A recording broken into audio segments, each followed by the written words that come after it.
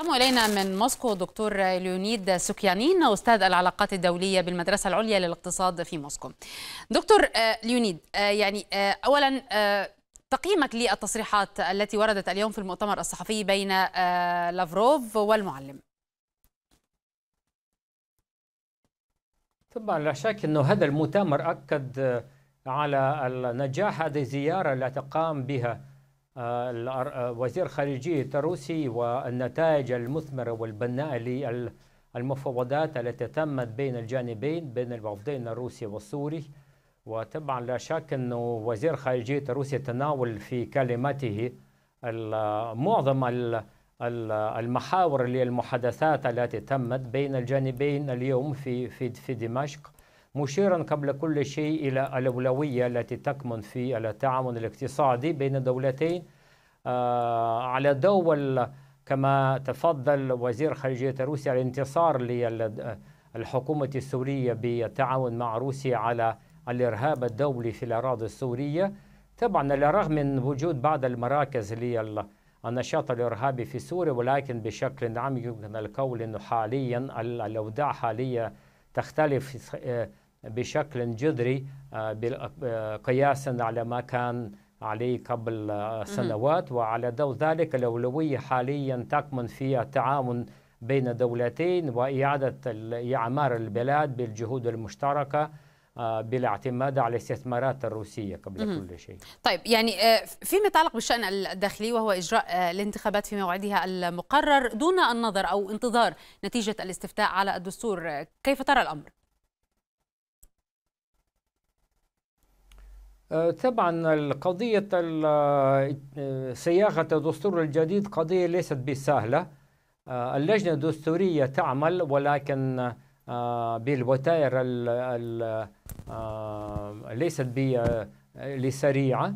ولكن وزير خارجية الروسي قال إنه ليس هنالك الحدود الزمنية المحددة للانتهاء من هذا العمل.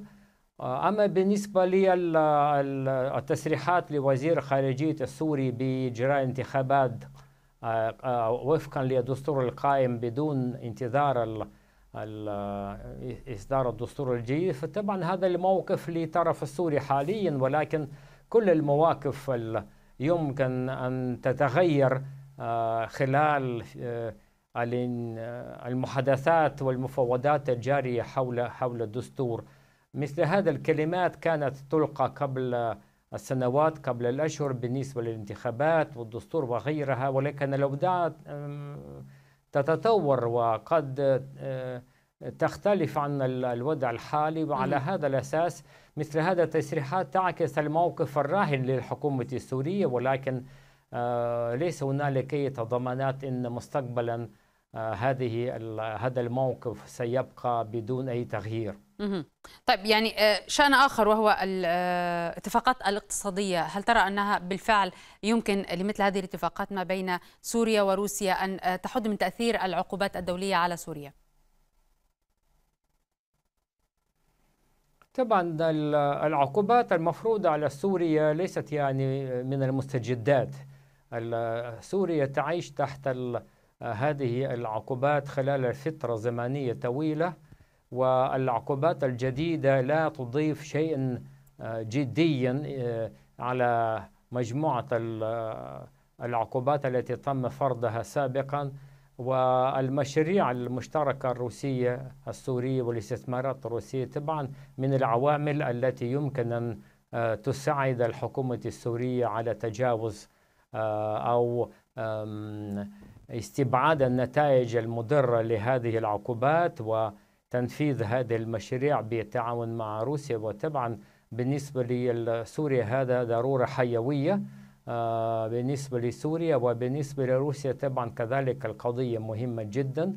قبل الانتهاء من المرحلة الرئيسية للعملية العسكرية الآن